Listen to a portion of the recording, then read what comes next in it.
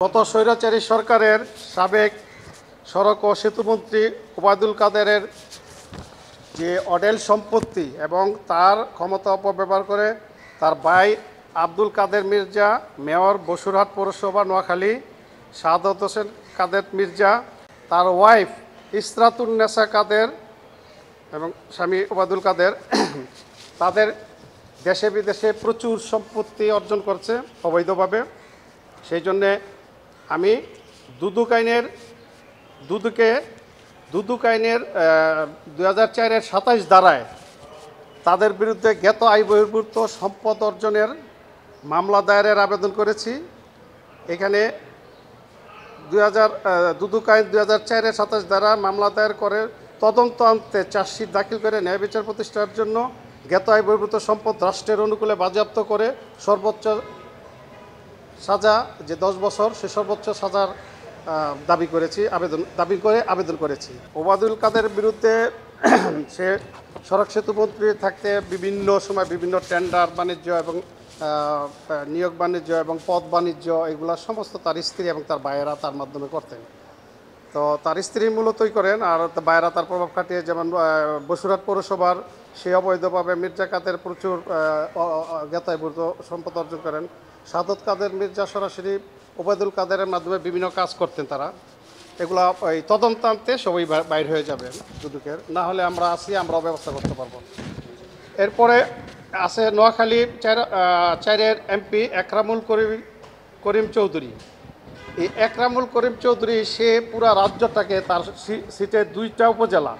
দুইটা উপজেলা তার স্ত্রীকে একটা উপজেলা দিয়েছে আর তার সন্তানকে একটা উপজেলা দিয়েছে। অর্থাৎ কামরুন্নাহার শিউলি উপজেলা চেয়ারম্যান কবিরহাট, নোয়াখালী।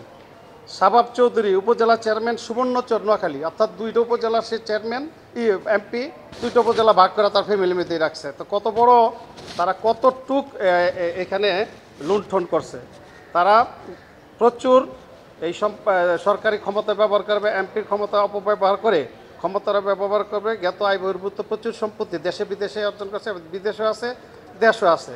তাদের এই অবৈধ সম্পদ অবৈধ সম্পদ দুদক যাতে তদন্ত আনতে মামলা দায়ের করে এবং এই এই এই আদালত, এই মামলায়, এই আদালত কর্তৃক তাদের সম্পত্তি বাজেয়াপ্ত ঘোষণা করে সরকারের অনুকূলে বাজেয়াপ্ত করার আদেশ চেয়েছি এবং সর্বোচ্চ শাস্তি, দশ বছরের সর্বোচ্চ শাস্তি আমি তাদের দাবি করেছি। দাবি করে আমি আবেদন করেছি।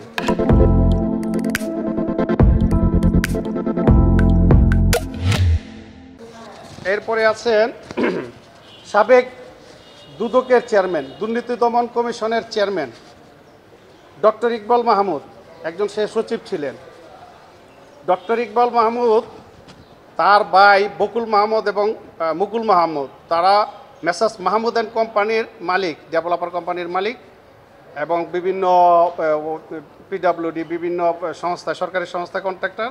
সেখানে ইকবাল মাহমুদ সরাসরি সেই সময় চিফ ইঞ্জিনিয়ারদের এবং প্রতিষ্ঠান প্রধানকে টেলিফোন করে তাদেরকে কাজ পাওয়া দিতেন। অর্থাৎ তার যে ক্ষমতা, দুদক চেয়ারম্যানের যে ক্ষমতার অপব্যবহার করে তার বাইদের বিভিন্নভাবে প্রচুর অডেল টাকার মালিক করেছেন এবং সেই টাকার বেনিফিশিয়ারি ডক্টর ইকবল মাহমুদ। সেই জন্যে তার বিরুদ্ধে এবং তার বাইদের বিরুদ্ধে জ্ঞাত আয় বহির্ভূত সম্পদ অর্জনের জন্য আমি দুদকে আবেদন করেছি যে তার জ্ঞাত আয় বহির্ভূত সম্পদ আছে এবং তা তদন্ত করে মামলা আনতে তাকে তার সম্পদ রাষ্ট্রের অনুকূলে বাজেয়াপ্ত করতে এবং তার বিরুদ্ধে সর্বোচ্চ শাস্তি করছে। দুদকের আইনজীবী মোশারফ হোসেন কাজল। দুদকের আইনজীবী মোশারফ হোসেন কাজল এই দুদকের পিপি থাকাকালীন মিডিয়াতে বড় বড় বক্তব্য দিতেন। তিনি প্রচুর আসামিদের থেকে বিভিন্নভাবে জামিন করা দিব, খালাস করা দিব, প্রচুর টাকা নিয়েছেন। বিডিআর মামলায় থাকতে অনেক বিডিআর আমাকে বলেছেন যে স্যার তো আমাদের থেকে সে টাকা নিছে, আমাদের কাজটা করল না। আর তার সে বলছে, খালাস করাই দিবে। মিটিনি মামলায় মামলায়। কেউ তো পাঁচ লাখ, কেউ তো চার লাখ। আমি বলছি, তো তোমরা কাগজ দেখাও, দলিল লাগায় দেখা দিলে তো আমি ধরতে পারি না। কিন্তু ওরালি মুখে আমাকে অনেকে বিচার দিচ্ছে আমার কাছে। এবং তার প্রচুর সম্পদ অর্জন করছে, দেশে বিদেশে সে তার সম্পত্তি আছে।